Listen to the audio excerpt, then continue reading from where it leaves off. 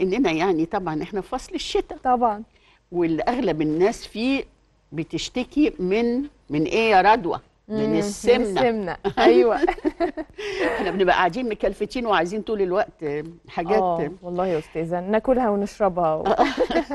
إحنا بنزعل قوي إن وزننا زاد كام كيلو كده للأسف فترة الشتاء. من الأكل والحلويات وبعض المشروبات الدافية الجميلة زي السحلب والكاكاو وغيرها اللي أيوة. ممكن إنها يعني تساهم بشكل فعال في زيادة الوزن. بس طبيعي آه تاكل كتير ووزنك هيزيد. مش. كده؟ ده أكيد. نظرية. طب كل زيد. بس الغريب إنك تلاقي كلام جديد وغريب. إن في دراسة جديدة اتعملت في جامعة النرويج للعلوم والتكنولوجيا ونشرتها نيويورك بوست آه، بتقول إن في بعض المواد الكيماوية بنستخدمها بشكل يومي ممكن إنها تتسبب في الإصابة بالسمنة. والعلماء في الدراسة دي كشفوا إن في 11 مادة كيماوية موجودة في حاجات بنستخدمها بشكل يومي زي مش هتصدقوا زي الشامبو والبلسم وأكياس الأغذية المجمدة. بس كلنا بنستعملها الستات اللي بيشتغلوا طبيعي أيوة. بيستعملوها أكتر يعني. طبعا. وإن دي الحاجات دي هي ممكن إنها تكون سبب في تعطيل التمثيل الغذائي وإنها تسبب السمنة. إيه صحة الكلام ده؟ خلونا نعرف من ضيفتنا اللي منورانا هاتفيا دكتورة آه، سماح سليمان أخصائي التغذية العلاجية. مساء الخير يا دكتورة سماح. مساء النور إزاي حضرتك؟ عاملة إيه؟ أهلا بحضرتك منورانا. يعني. كلام الحقيقة بالنسبة لنا جديد وغريب فكرة إنه 11 مادة آه، كيماوية ممكن يكونوا بيسببوا آه، ال- السمنة فحضرتك قولي لنا اولا هل الكلام اللي في الدراسة ده فعلا صح ولا لأ؟ يعني علاقة ال- الشامبو والبلسم وأكياس الأغذية المجمدة بفكرة الإصابة بالسمنة.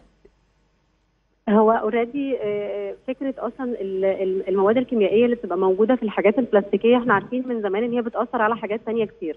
فهي صحة الدراسة هي دراسة فعلا صحيحة آه، لكن هي مش بتأثر إن هي بتزود الوزن بطريق مباشر. آه، يعني إحنا عرفنا من زمان إن إحنا ما ينفعش نحط مثلا الحاجات السخنة آه، في حاجات بلاستيكية عشان بتتفاعل مع الأكل وإحنا بدأنا ننتبه ده كلنا كأمهات أو عامة كأفراد إن إحنا نبقى عارفين ما نحطش الحاجات السخنة في البلاستيك. بس هي فعلا دي دراسة حديثة. المواد اللي بتبقى موجودة زي آه، المواد اللي بتبقى موجودة في الحاجات البلاستيك الشامبو والبلسم والكلام ده ممكن تزود الوزن عن طريق إن هي بتقلل التمثيل الغذائي أو بتقلل الحرق.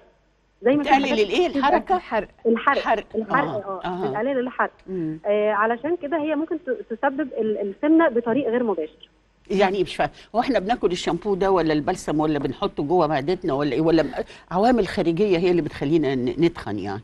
في في عوامل طبعا خارجية بتخلينا نتخن بس المواد دي اوريدي ممكن تكون بتأثر آه، آه، بالسلب آه، عن طريق مثلا الامتصاص بتاعها داخل الجسم مم. مش شرط إن إحنا نكون بناخدها من الأكل مم. بس هي لسه دراسة جديدة وأكيد هيتعمل عليها دراسات تانية كتير لأنه مش بناخد المعلومة عامة من دراسة واحدة. المفروض يبقى في دراسات تانية كتير قوي بس هو عامة أكيد مش هنبطل نستخدم شامبو أو كده بس الحاجات البلاستيكية ال- الاستخدام بتاعها اوريدي لازم يبقى بحساب اللي هي آه، الأكياس مثلا يعني يا دكتورة سماح آه، فكرة الأكياس البلاستيكية ال-. ال- الحاجات دي يعني المواد اللي فيها بتنتقل مثلا للأغذية أو لو كانت في الشامبو فبتنتقل لشعرنا فده بيأثر على التمثيل الغذائي؟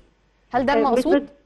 آه بس مش بطريق مباشر. يعني إحنا مش هنبطل نستخدم شامبو. ولكن هي الفكرة كلها برضو في اختيار النوعيات أو اختيار ال- الحاجات اللي إحنا بنستخدمها لينا.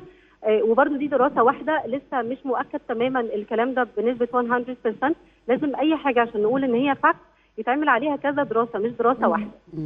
آه، لكن already مش ده الحاجة الوحيدة اللي بتقلل التمثيل الغذائي. إحنا already في فصل الشتاء زي ما حضرتك قلتي وبناكل كتير وفي حاجات عندنا كتير already بتقلل التمثيل الغذائي أو بتقلل الحرق وده اللي بيؤدي بطريق غير مباشر للسمنة. بس حضرتك استخدام الحاجات دي. آه، دكتورة سامح حضرتك قلتي إنه إن الس- الستات كلهم عارفين إنه يعني المواد الغذائية اللي في اللي في البلاستيك أصلا بتخن أول مرة أنا أعرف بصراحة يعني.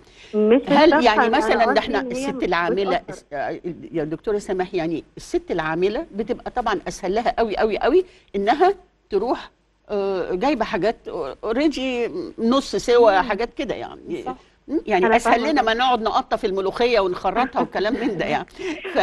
فايه إيه مشكلتها دي أنا هلا أنا أنا هقول لحضرتك أنا مثلا كست عاملة ما أنا بشتغل ب- بحاول دلوقتي في مواد أو في حاجات products بلاستيكية بتبقى صحية ومش بتتفاعل مع الأكل غير. الأكياس العادية هي بتبقى مكلفة يعني مش حاجة مش تكلفة عالية. ولكن دي بتبقى علب بنحتفظ بيها مع يعني مع الأكل سواء في الفريزر أو سواء في الثلاجه مش مع الحرارة يعني مش مع الحاجات السخنة. آه، بنستنى الأكل يبرد شوية وبنحط آه ده موضوع تاني. أنا فاهمة إن إحنا مجرد نشتري شوية خرشوف جوه حاجة بلاستيك يبقى خطر.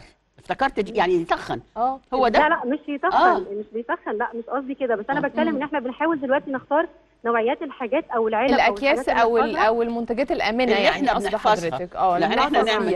آه okay. تمام آه. تمام. ده مهم قوي ناخد بالنا. مش أي حاجة بلاستيك نحط فيها الأكل بتاعنا طبعا آه، ده أي حاجة آه. نستخدمها. لا بقينا دلوقتي. في وعي كبير. قوي ب- بأنواع البلاستيك. ومواصفاتها طبعا. آه طبعا. صحيح، لازم أكيد. ناخد بالنا من صحتنا ومن صحة ولادنا. أكيد. إحنا بنشكر حضرتك جدا على وجودك دكتورة سماح سليمان إخصائي التغذية العلاجية. شكرا يا دكتور سماح.